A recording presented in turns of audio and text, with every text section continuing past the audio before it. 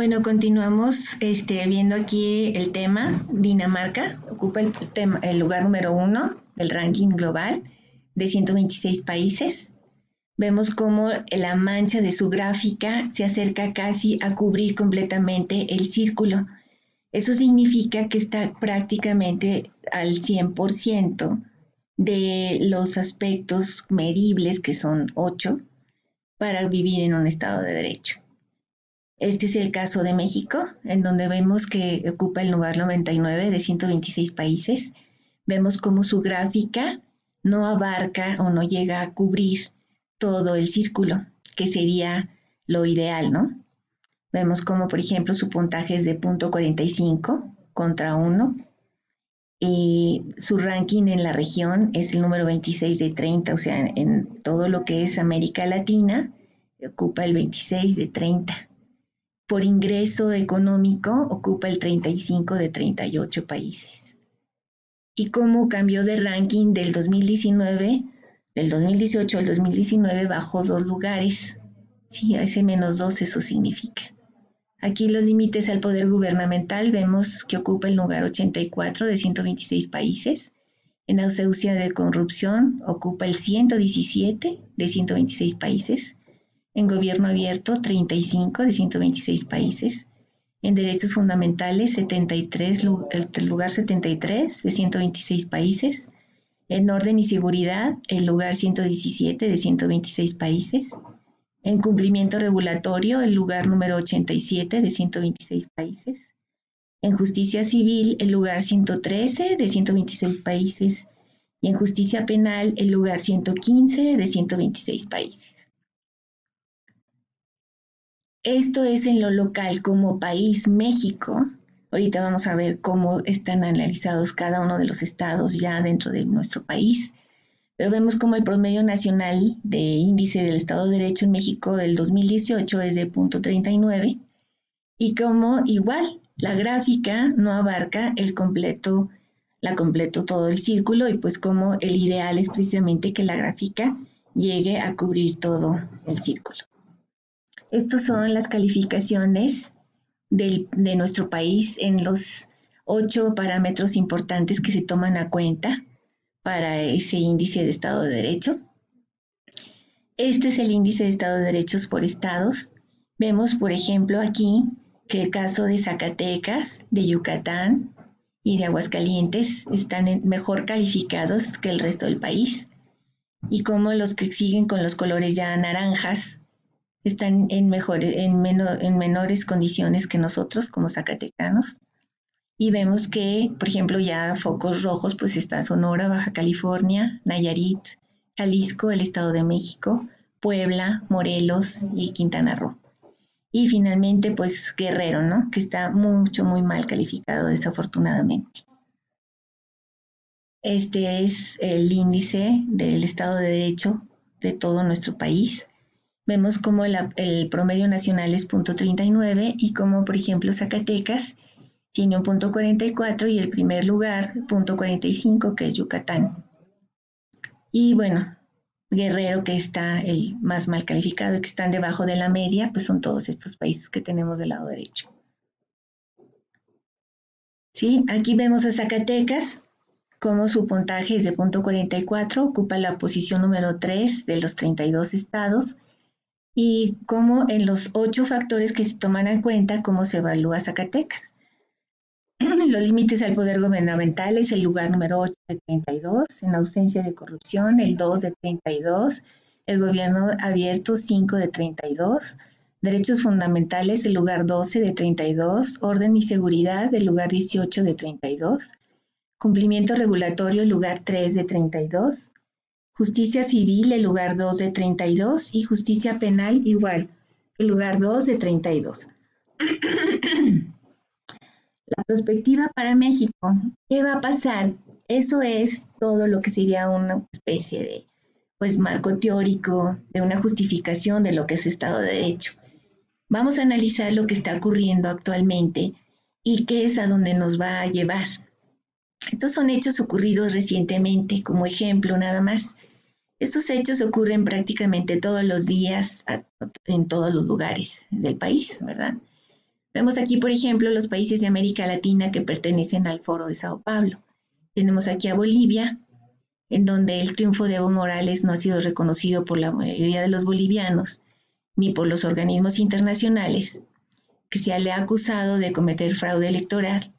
Es presidente desde el año 2006, es el cuarto mandato por el que va, y sin embargo el gobierno de México ya le dio su aval. ¿Por qué? Sería la pregunta, ¿no? En este caso, por ejemplo, en el caso de Cuba, también es miembro de ese foro, pues también tiene un presidente, un presidente vitalicio y después siguió su hermano y siguen siendo eh, pues el mismo, vamos a decir así, partido político, la este, alternancia es nula, no hay oposición, es un gobierno completamente cerrado, autoritario, no es un gobierno abierto, ¿sí? Y en el caso, por ejemplo, de Venezuela, donde también hay otro presidente vitalicio, que es Nicolás Maduro, y anteriormente pues estuvo Hugo Chávez. ¿Qué es lo que está pasando aquí? Bueno, ¿por qué lo comentamos?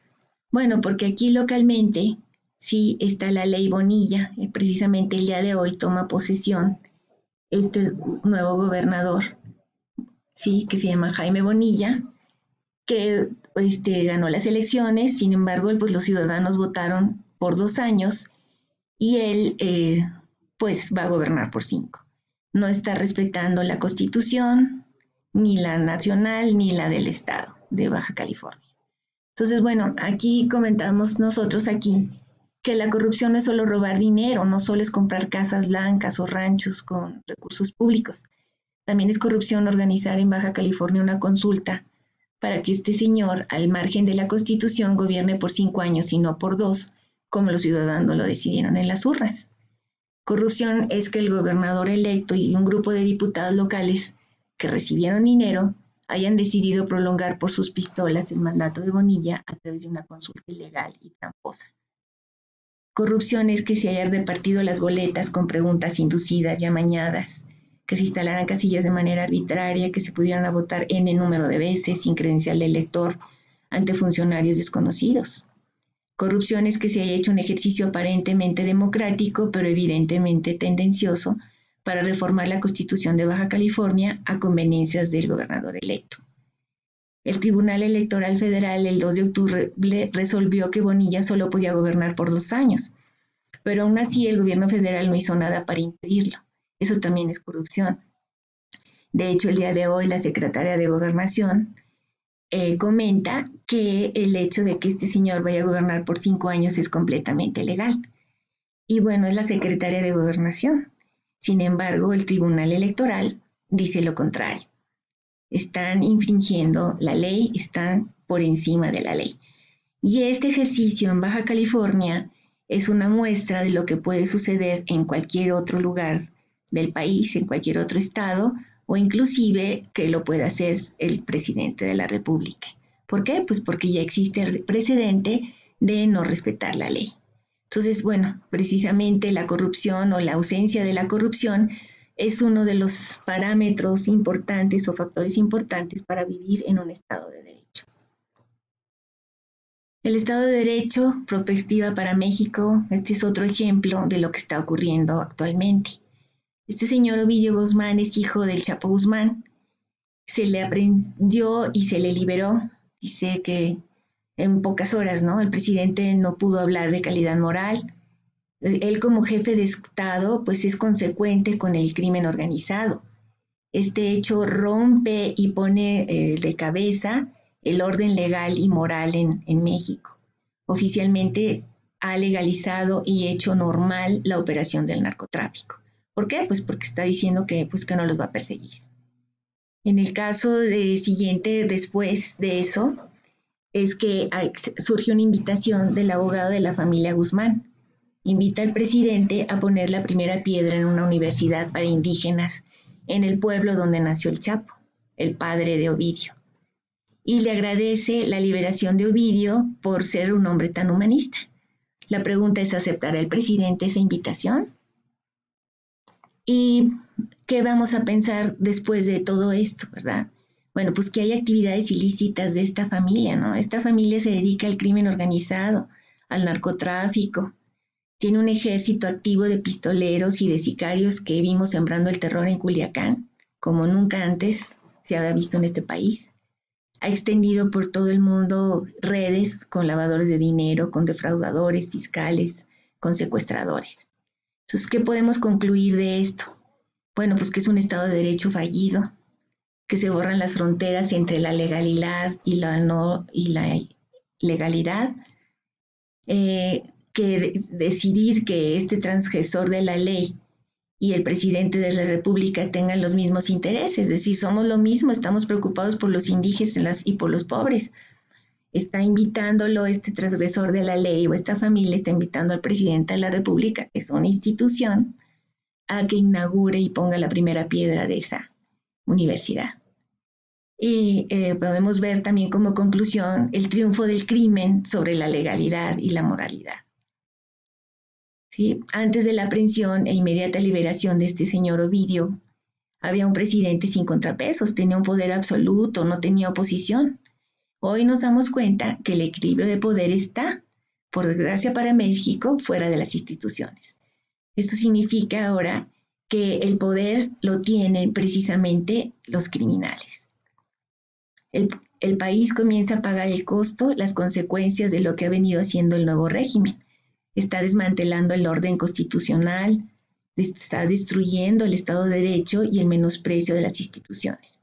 De hecho, el presidente hace mucho tiempo comentó y lo dijo al diablo con las instituciones. Bueno, pues la presidencia de la República es una institución y entonces pues también ya mandó al diablo a la presidencia de la República. Entonces ese día 17 de octubre, el día de los hechos en Culiacán, pues eso fue un hecho que va a pasar a la historia, porque finalmente vamos a saber quién va a mandar, ¿no? ¿Quiénes van a mandar? Los criminales. Y sería todo. Gracias.